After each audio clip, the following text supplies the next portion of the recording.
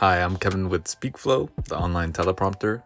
In this video, I want to show you how you can create and edit your scripts with SpeakFlow. I'll go over all the basics from creating your first script to formatting text for your teleprompter presentation. When you first log in to SpeakFlow, you'll see the script management page. This page shows all the scripts you've personally created. With a new account, the only script you'll see is the README demo script. If you need to edit an existing script, you can simply click on its title or open the drop down and click edit. So let's go ahead and create a new script. There are a few ways you can do this from the script management page. You can click on new script here, here, and if you're on mobile, there's a button here in the scripts drop down menu. Once you create a new script, you'll see the script editor page. If you plan on writing your script directly into SpeakFlow, you can click where it says enter your script here and simply start typing. If you're using flow mode or voice recognition scrolling, you'll want to make sure that your script is set to the correct language or dialect so that it can recognize your words during your presentation.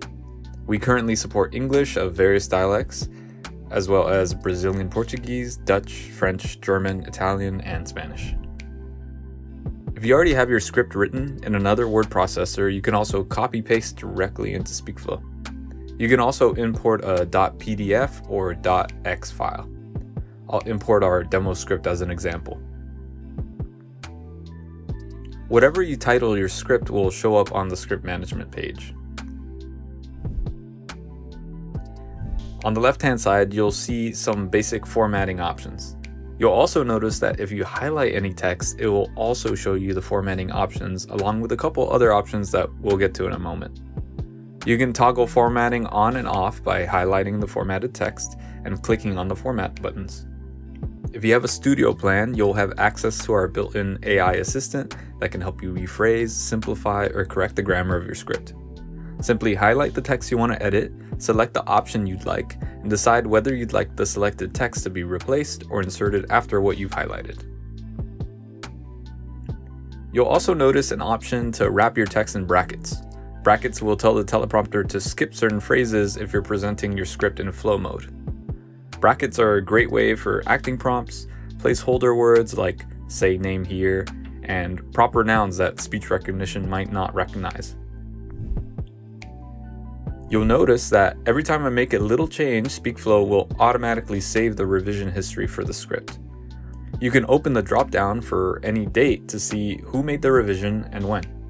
When you click revert, you'll see a preview for that version of the script and you can click revert to swap it for the selected revision.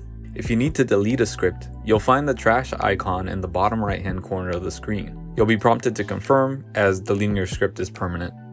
Once you're ready to present, simply click on the button in the bottom left hand corner and you'll be taken to the presentation screen. If you need to edit the script, you can click on edit directly from the presentation screen in the upper right hand corner. And that's how you create and edit scripts in SpeakFlow. Thanks for listening and good luck with your presentation.